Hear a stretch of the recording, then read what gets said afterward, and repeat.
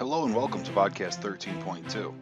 In this podcast, I will overview the three primary factors that affect wind. Before discussing the factors that affect wind, I'll start off by defining wind. Wind is the horizontal movement of air. Winds will always move out from high pressure areas and into low pressure areas. On weather maps, the highs will be represented with a blue H and the lows will be represented with a red L. Now, this is a very important point. The ultimate energy source for most wind is incoming solar energy, and it's the unequal heating of Earth's surface that creates the high pressure and the low pressure zones that ultimately cause that movement of air. So make sure you keep that in mind. The sun drives so many processes on Earth, and the wind is one of them. Now let's talk about the three controls of wind, the first of which is the pressure gradient force. The pressure gradient force is the force that results from a difference in atmospheric pressure between two locations. On the pressure map that you see on the right side of this slide, the lines separating areas of different air pressures are called isobars. And if we focus in on this particular section, which takes us from Chicago to central Illinois, right around where Decatur's at, we see that since both locations fall between the same isobars, they will be experiencing equal air pressures. Now there are two very important things I need to stress on this slide, and the first is the pressure gradient. The pressure gradient is the pressure change over distance. And the horizontal pressure gradient is the driving force of wind. We're going to discuss three factors that affect wind, but pressure gradient is the most essential one. Now, when we look at a weather map, when you see closely spaced isobars, that indicates strong wind speeds. In other words, there is a steep pressure gradient where the isobars are very close together. However, when you see very widely spaced isobars, we're talking about light winds or calm conditions. And where those isobars are widely spaced, we would have a weak pressure gradient.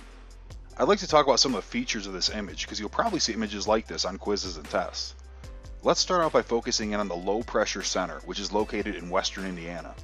Winds want to flow from areas of high pressure to areas of low pressure, and the lowest pressure on this map is where you see that red L.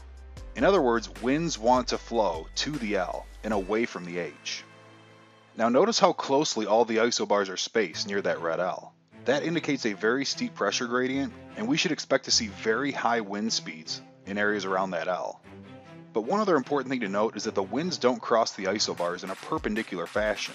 You might expect that if wind flows from areas of high pressure to low pressure, but one of the other things we'll talk about in this vodcast is the Coriolis effect. And the Coriolis effect will deflect winds to the right in the northern hemisphere. The wind direction can be determined by knowing that the wind is always towards the station circle. So for the northern Illinois location, the winds are coming out of the northwest. One other thing I'd like to stress is the high pressure zone, which can be found in Canada. Now, unlike the low pressure zone, where the winds are coming towards the low pressure area, the winds come out of the high pressure area. So instead of seeing converging winds as you'd see in the low pressure area, you see diverging winds in the high pressure area. The wind speeds you see around the high pressure zone are relatively weak compared to the wind speeds you see near the low pressure zone. And again, the spacing of the isobars is our evidence for that fact. I'd like to take a quantitative look at the pressure gradient force just to help you really understand what's going on with this concept. In the image on the left, I'm going to put a line segment in that represents 50 kilometers. Now if I put that line segment in the region where there's a strong pressure gradient force, you can see that I can't fit very many 50 kilometer line segments in this region. So there's a pressure drop from 1000 millibars to 996 millibars over a relatively short distance. That indicates a strong pressure gradient force, and that means that we would see strong winds in this region. Now let me take my same line segment into a region where there's a relatively weak pressure gradient force.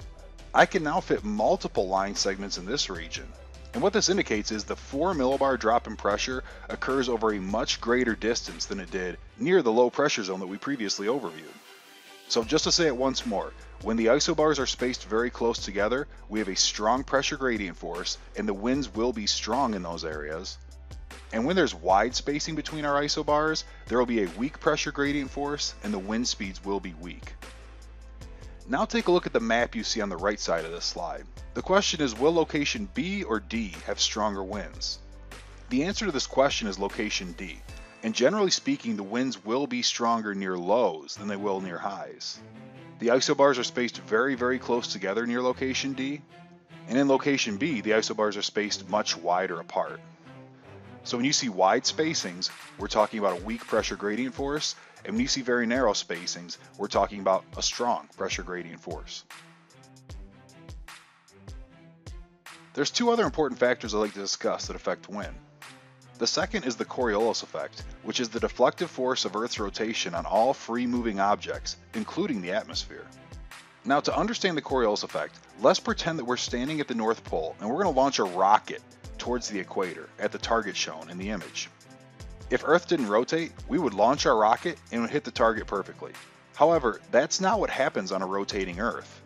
Let's suppose our rocket takes exactly one hour to go from the North Pole to the equator. We launch the rocket at 12 o'clock noon, so we expect it to get to the equator at 1 o'clock in the afternoon. Well, as that rocket is traveling in the air, planet Earth is rotating underneath the rocket. In fact, in one hour, Earth will rotate about 15 degrees. Now, somebody watching this from outer space would see our missile traveling a straight line path. But for us here on Earth, we would see an apparent deflection and our rocket would end up missing the target quite a bit to the right. That path deflection is due entirely to the Coriolis effect. Now in the example I just presented, we are talking about launching rockets, but the Coriolis effect has the exact same effect on winds. In the northern hemisphere, the deflection will be to the right, just as it was for our theoretical rocket launch, and in the southern hemisphere, the deflection will be to the left. Now it's very important that I state that the Coriolis effect will only affect wind direction it has no effect on wind speed. The third and final factor that affects the wind is friction, and friction will always oppose motion. Now what that means is friction will act to slow down the movement of air. Now it's also important to note that if friction slows down winds, it will also weaken the Coriolis effect. Because faster moving air will experience more deflection due to the Coriolis effect than slower moving air.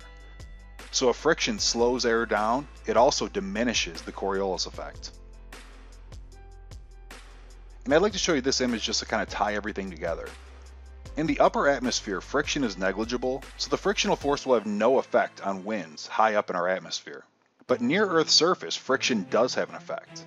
The pressure gradient force is the red arrow you see on this image, and it will always point in the direction of the lower pressure region.